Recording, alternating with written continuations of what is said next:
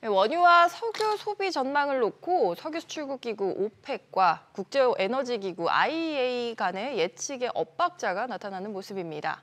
오펙은 내년 전 세계 원유 수요가 증가한다고 내다보는 한편 IEA는 각 국가들의 긴축 정책으로 증가세가 둔화될 것이라고 내다봤는데요. 이 소식 취재 기자 연결해서 들어보겠습니다. 박연신 기자. 네, 박연신입니다. 네, 각각이 어떻게 전망을 하고 있는 거죠?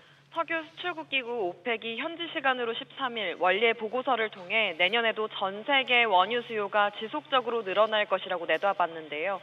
오펙은 전 세계 원유 수요가 올해보다 하루 225만 배럴 증가할 것이라고 예상했습니다.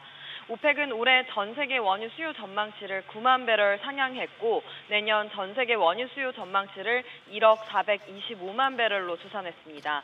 반면 석유 소비국을 대표하는 국제 에너지 기구 IEA는 올해 전 세계 석유 수요량이 사상 최고치를 기록할 것으로 봤지만 전망치는 하향 조정했습니다. 현지 시간 13일 IEA는 2023년 7월 석유 시장 보고서를 통해 올해 전 세계 석유 수요는 사상 최고치인 하루 1억 210만 배럴에 달할 것으로 예상했습니다. 이는 지난달 예측치보다 약 22만 배럴 줄어든 수치로 올해 처음으로 IEA가 증가 전망치를 하향 조정한 겁니다. 그렇군요. 오펙과 IEA 각각 어떤 이유에서 이런 전망을 내놨을까요?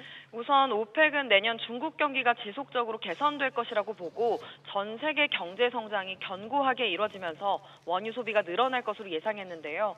이에 반해 IEA는 지난 1년간 많은 선진국과 개발도상국에서 급격하게 이루어진 통화 긴축 정책 때문에 세계 석유 수요가 압박을 받고 있다고 진단했습니다.